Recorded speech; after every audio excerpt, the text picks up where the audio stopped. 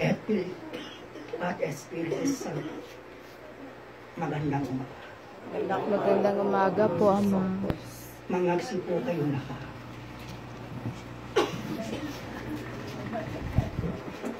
Ipikit ninyo inyong mga mata. Tanging sa pinig, lahat. Sadyang makinig. Marami nang sadyang nakakakilala. Nakakabalita ng aking pangalan sa Espiritu. Nang ako'y tumawag sa tao, itinaas ko ang aking mga ang aking mga kamay ipinakita sa tao at aking wika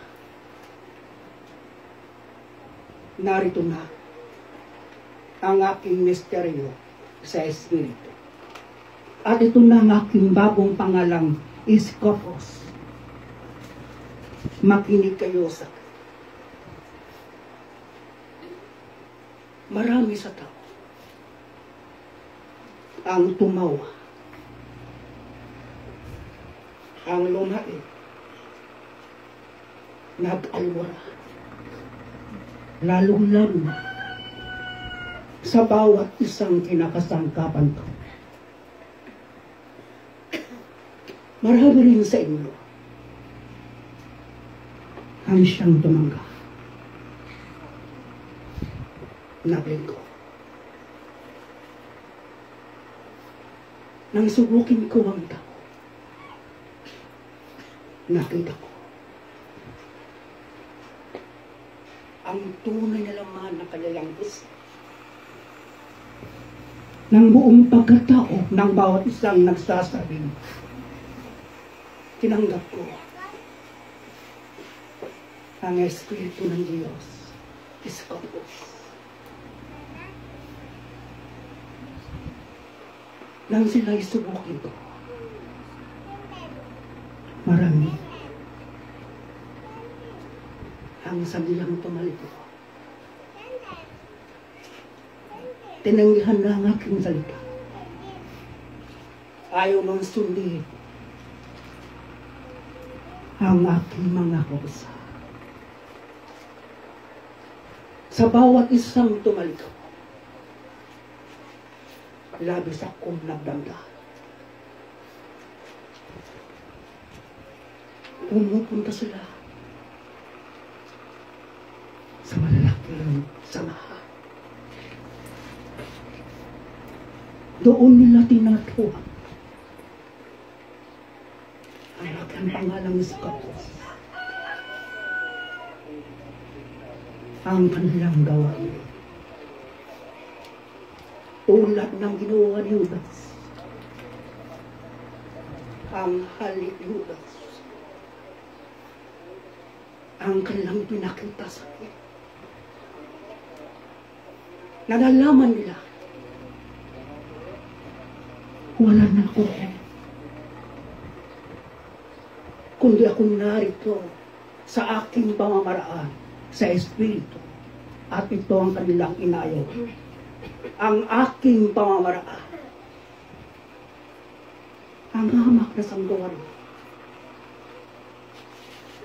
At ang kuntas. Suot-suot ng simba.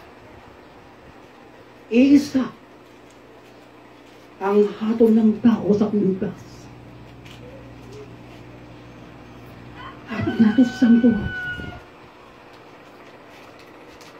Ito'y kanilang hindi kayang dalhin.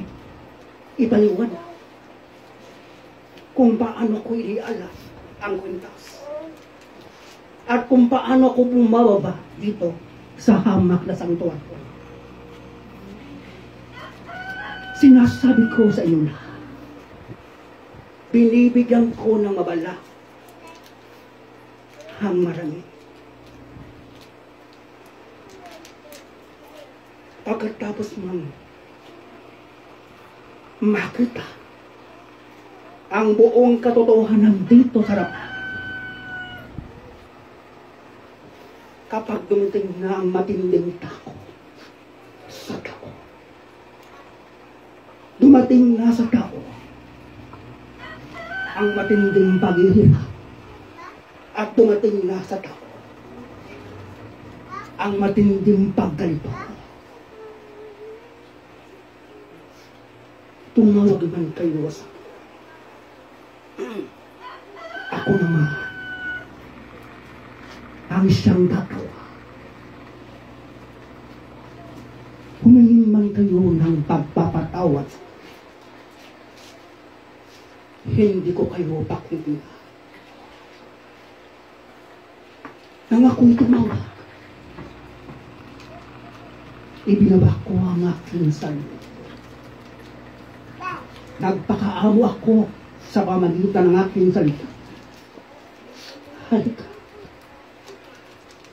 Lilimutin ko ang lahat ng iyong kasalanan. Masdan mo sa loob ng aking santuan. Ang aking galinga. At dito ko pinahayak ang siyang mangyayari magaganda sa buhay ng tao. At kung paano ko kayo nililinis. At kung paano ko binibigat ang isang katatagan. Ang tao'y sadyang napakarupok sa bawat winiwika ng kanyang kapwa. At ang tao, sadyang napakahina sa pagtitiis. At ayaw nila ang aking pamamaraan sa hirap at sakit. At ito, ang sadyang kanilang tinalakuan. Sinasabi ng bawat tumalikod sa hindi nila ko nililigo. O, kabilang kayo sa sinungaling. Lumalaki sa akin pangalan na kung paano ko hinirap sa marami. At ako hinubara mula sa pitan. Ginapos ang aking mga kamay. Simulan na ito'y hampasin ng hampasin. Halos hindi ko mabigyan ang hampas ng tao. Ganyan din. Ang ginawa ng bawat tumalikod sa ang ako'y sakta. Na kung paano sila lumuluhod. Tumatay ko. At pumapasok sa loob. Nagalak niya ang simbahan. At doon tinatawa ang aking pangalan.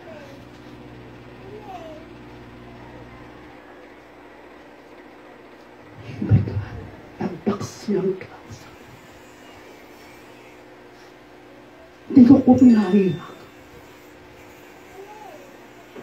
Ang ibig ko sa bawat isa sa inyo. At ito ang aking ibig sa isang hamak na aking pamaraan. Dito kayo tumindig. At kung paano kayo binigyan ng kwintas. At kung paano ko kayo pinapapasok sa loob ng aking santuaryo. Kayo ba ito ipaglaban?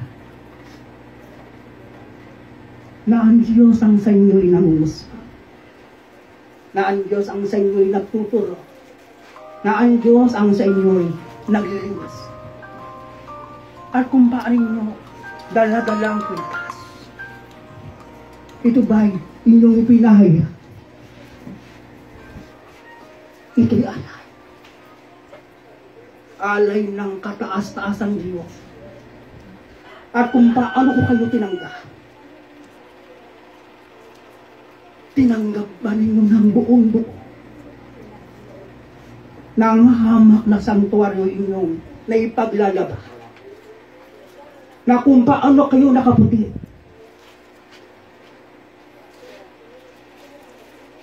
Ito ba'y nakita? Sa inyong mga gawa. Sa inyong salita. Sa inyong pagpapahayag ng aking pangalangis ka po. Sinasabi ko sa inyo na kaunti lamang sa inyo ang Kristong totoo. Kaunti lamang sa inyo ang kanyang pagtanggap nasa kanyang puso. At narito ang larawan ni Jesus na kanyang iniingatan. Huwag madumiha. Huwag langitin. At ang lahat ng bagay na kanya niya itinuro narinig. Iniingatan ng kanyang mga lupa. Sinasabi ko sa inyo na, tumatawag kayo bilang isang amasa. Lahat kayo sadyang lumibigkas ng amang iskapos.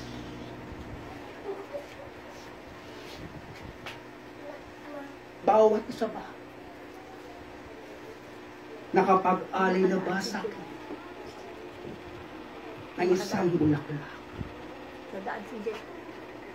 Bawat isa ba na ang kanyang dinalang bulaklak nananatiling sa lupa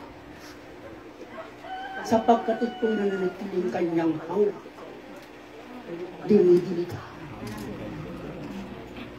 tao ang aking sa inyong minimika kung meron na kayong dinalang tao bilang alay sa akin at nais ninyo ito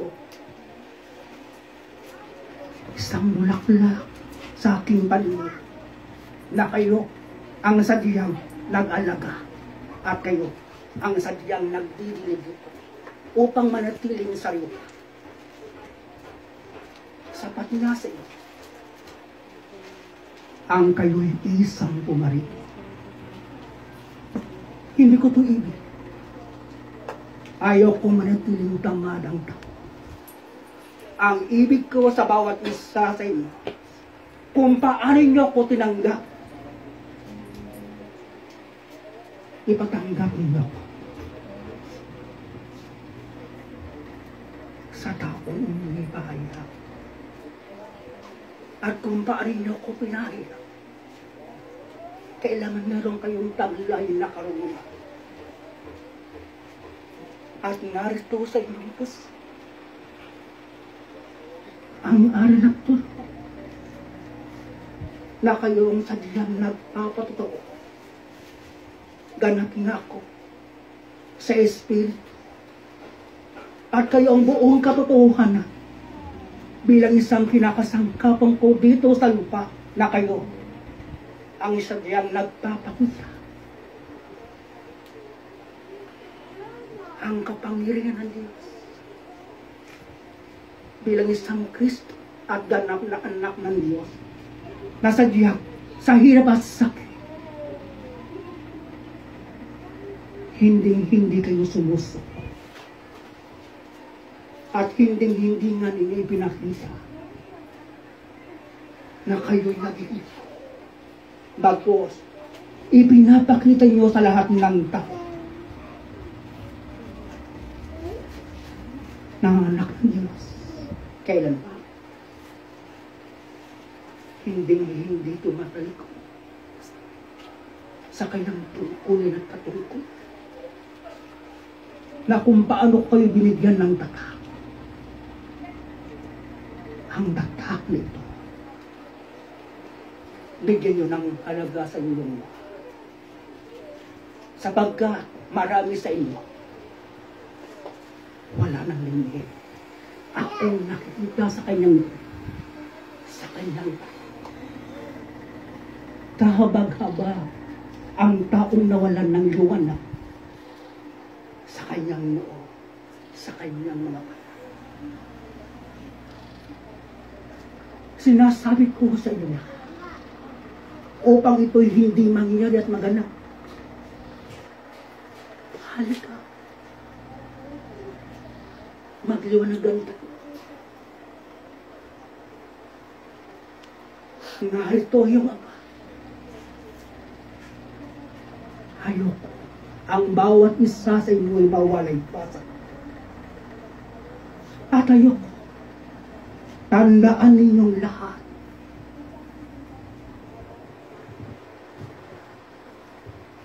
Ito ang aking santuario. Dito ako gumawa. Dito ako gumagamit. Tulad ninyong tao. At dito ko pinahaya ang lahat ng aking pamamaraan. Kung ito inyong kinahihiya, ikahihiya sa sinuma. At doon kayo papasta sa malaking samahan. At inyong tatawagin ang aking pangalan. Tulad kay ni Judas kung paano ako nilikha. Huwag itong mangyayari at maganda sa inyo lahat na narito. Sapagkat darating ang oras, ako naman ang sa inyo yung magtatawa. Tatawa ako ng tatawa kung paano akong pinagtawan na ng sino mang aking tinawa at binigyan ng gaba at binigyan ng pag-asa. Sa kanilang pagdalikot sa kanilang paghakbang sa loob ng samahan katumbas kung paano ang sinaksan sa aking baligyan. Ganyan-ganyan ang kanilang ginawa. Lagi akong sinasaktan ng sa arawan. Lagi akong pinagmamalpitan ng tao sa araw-araw. Bakit tutuloy ka? Bakit ko sinabi sa inyo? Araw-araw ninyo ako pinagmamalpitan. Sapagkat sa pamamaraan ko ay sumunod sa ang aking batas ang. Ang aking pitong handog, ito ang aking pamamaraan. Ngunit kayo, kayong nagsasabing tinanggap ko si Iskapos. Ngunit ang inyong gawa, putulat sa halit ni Judas. At itong lagi niyong gagawin sa akin, ang humalit na lamang. At ayaw niyong gawin ang aking sa inyong pinag-utos. At lagi niyong pakikinggan ang utos ng tao, ang pamaraan ng tao, at ang inyong pagkatakot sa tao, ang sinyong gagawin sa aking harapan. At wala kayong pagkatakot sa akin. Sinasabi ko sa inyo na, ang anak ng Diyos ay hindi taksi.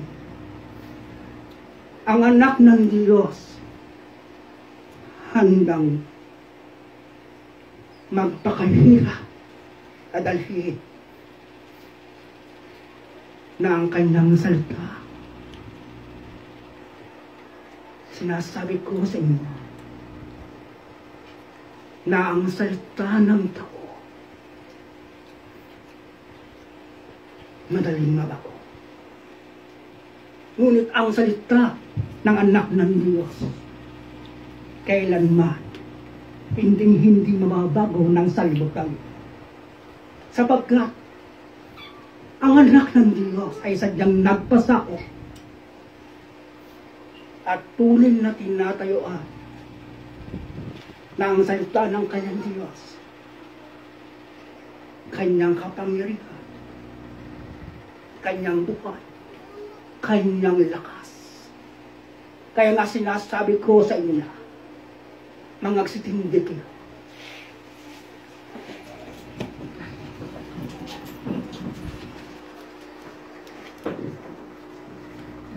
Ipikit ninyo ang inyong mga mata.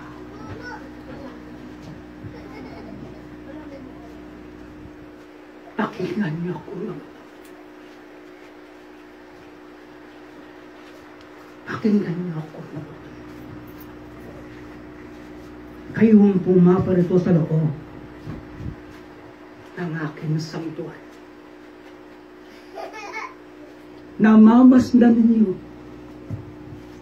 ang siyang pangyayari sa loob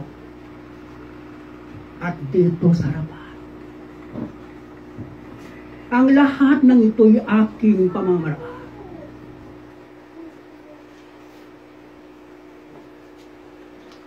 Bigyan niyo ng babala. Ang hindi na pumaparito. Silang pumaparoon sa loob ng malalaking samahan.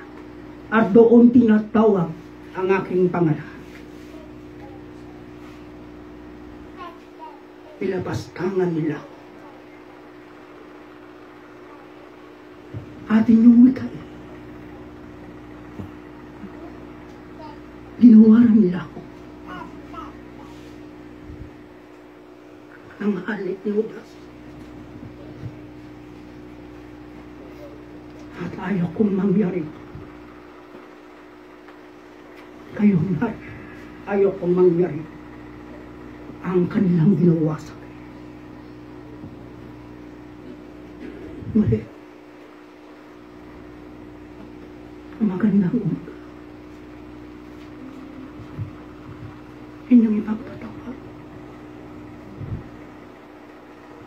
Ang aking pagdaramdam. Inyong ipagpatawad. Nasaktan ko ang ilan sa inyo. Sabi, anak, kumuha ka ng langis.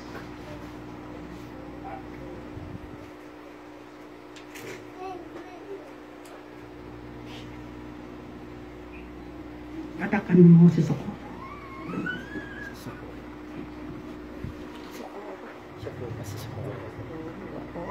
Socorro. Pangalan.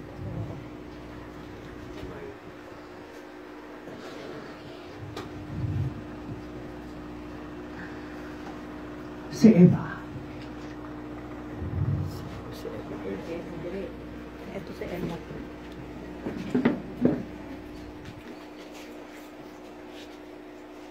ang aking sacerdote.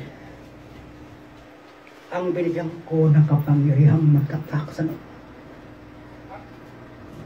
At ako sa inyo'y mabibigay kung ano ang pangalan ng bawat isang nadarama ko sa kanyang puso at isipan. Sinasabi ko, ingatan mo ang iyong mga kamay. Sapagkat iyan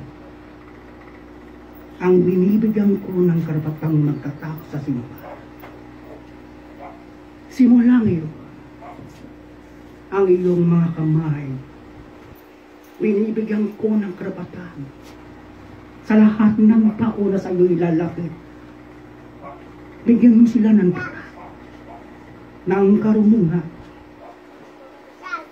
ng katapangan, tatak ng katapatan, tatak ng pagiging isang anak ng Diyos. Ipakita mo sa kanilang lahat. Sa kabila ni kay sinusog. Meron kang ngiti sa iyong mga labi. Sa kabila na ikay pinahihirapan ng salibutang ito. Pinagtatawa na. Ipakita mo rin sa kanilang lahat na kailanman hindi hindi ka pagagapuli. Sa salibutan nito, sapagkat ikay anak ng Diyos, at iyong ipakita ang pagiging isang anak ng Diyos may liwanag sa buong niyang kalooban. Maraming salamat. Paalam mga anak.